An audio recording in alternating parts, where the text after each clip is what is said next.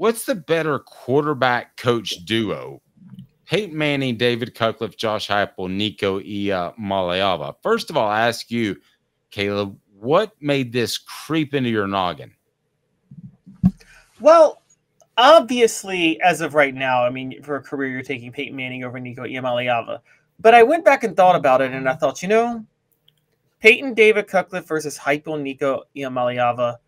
The Peyton Cutcliffe combo had two had only one great year and two good years in 95 and 96 and then one great year in 97 where Peyton shattered every record like I can't argue with that.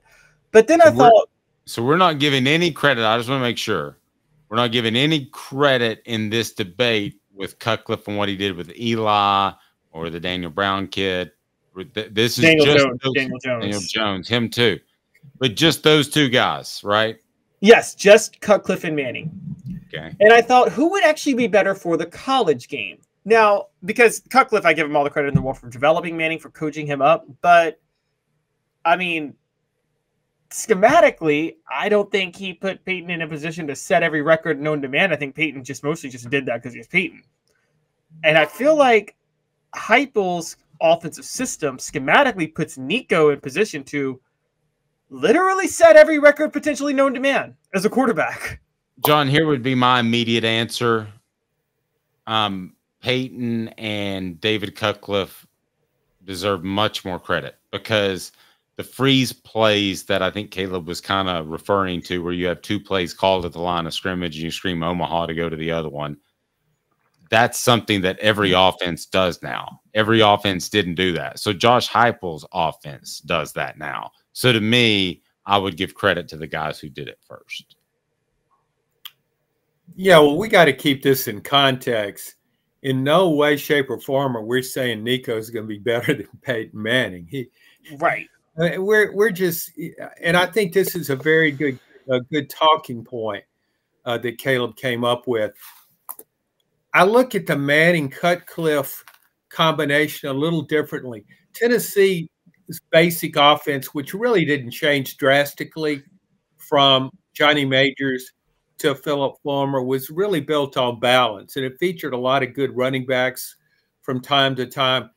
I thought David Cutcliffe really helped Peyton's stats by accentuating the pass more than he did with any other quarterbacks. Tennessee was more pass first under David Cutcliffe in Manning's 95 through 97, I thought. Uh, and Peyton put up some really good numbers. However, when you talk about the college game, as good as Manning and Cutcliffe were together, Tennessee didn't average 46.1 points per game like it did under Josh Josh Heupel in 2022. I, I think the upside for this offense now at the college level is so great because you have a again, it gets back to Nico being so well suited for this offense. And I just think he has a chance to pile up bigger numbers than Peyton could have under David Cutcliffe, or Peyton did under David Cutcliffe.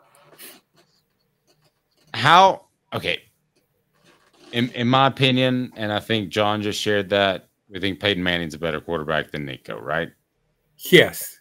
Yes, I think that's a, a fair. Yeah, we're not. I'm not. I'm not going to sit there and say any quarterback coming in could be better than Peyton Manning. Right. Yeah, right. I know, but you know, people, somebody's going to watch this and say, "Man, those idiots just said that Nico he started one game. They already said he's better than Peyton Manning ever was. What a bunch of morons!" Okay, so uh, let, let me let me argue this. I when I look at David Cutcliffe, I see a guy that did a heck of a job of putting that 99 offense on the, or I'm sorry, 98 offense on the field. He said he didn't think they could get a first down in spring camp. So, uh, from an offensive mind standpoint, if we're comparing the two parties, are we giving Cutcliffe the advantage over Heupel? Because I believe Cutcliffe could differ more from his core beliefs on offense than Heupel ever could. I don't know that he would ever get away from the wide splits or that he would ever get away from tempo.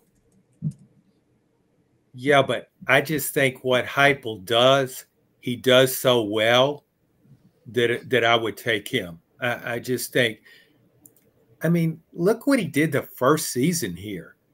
I mean, he just comes in right away and puts his offense in place, and Tennessee almost averaged 40 points a game. The only reason it didn't average 40 points per game last season, and then that that falls on Heupel, of course. He he had the wrong quarterback. He, he just didn't fit this offense. But if he has the right quarterback, he's going to average over 40 points per game. And so, yeah, maybe David Cutcliffe could shape his offense at times better for depending on the personnel. But if I'm just looking for who can score the most points year in year out, I'm taking Josh Heupel. Okay, let me ask you this, Caleb. I'll start with you. If this offense had to perform with Gaston Moore, something happened to Nico, would they be better in better hands with Josh Heupel or David Cutcliffe? I think that's actually where they'd be even more in better hands with Josh Heupel. And the reason I say it's where they'd be more in better hands with Josh Heupel is um, oftentimes running a offensive system as opposed to adapting to your personnel. Let's look. Hi, Cutcliffe is an adapt to your personnel type of offensive coordinator, which is great because John knows this. Most of the time, a coach says, "I'm here to adapt to my personnel." That's because they don't know football and they're just saying what they can say. Cutcliffe is one of the few people who actually could adapt to, to personnel. But that only works if you have personnel that's good. If you don't have hmm. personnel that's good, you have to have a system. And so, in that regard, I don't think there's any adapting to Gaston Moore that David Cutcliffe would be able to do. Okay, that, at that point, you need to have a system. And so, Josh Heupel. I think he'd know how to keep him out of trouble.